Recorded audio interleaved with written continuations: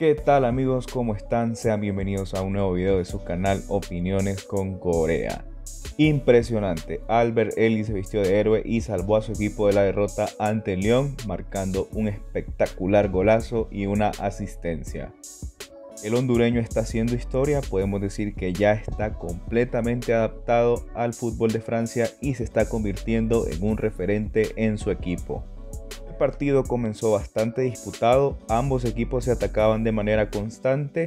Al minuto 29 iba a llegar el gol de Jason Denay para poner arriba a León, luego vendría el empate, Albert Ellis mandaba un centro y Malo Gusto iba a rematar en propia puerta, siendo esta la primera asistencia del hondureño. Minutos antes de que finalizara el primer tiempo, cuando iba a llegar una joya de gol de Thiago Méndez que ponía a León nuevamente arriba en el marcador. Ya en el segundo tiempo el partido se puso más interesante, los ataques entre ambos se mantenían, pero en un tiro de esquina la defensa del Burdeos despejó y la puso rápido al ataque, el coreano Wang le sirvió al catracho y este con su gran velocidad superó la marca, el arquero intentó achicar y Ellis la picó para así rescatar el empate.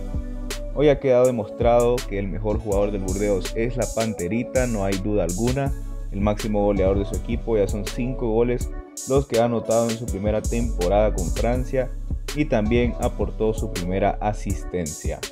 El Burdeos, gracias a Ellis, rescató un empate ante un rival muy fuerte. A pesar de no llevarse los tres puntos, sacaron uno vital de este difícil encuentro. Ellis también acaba de igualar la marca histórica de más goles de un hondureño en la primera división de Francia. Ahora solo queda un tan solo gol para que supere por completo al hondureño Porfirio Betancourt.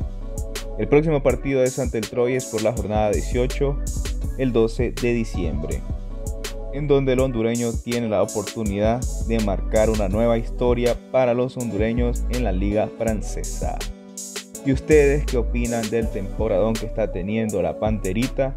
Un orgullo para todo Honduras, la manera en que está compitiendo. Comenten si creen que el próximo partido podrá superar la marca histórica. Me gustaría saber su opinión acerca del goleador hondureño.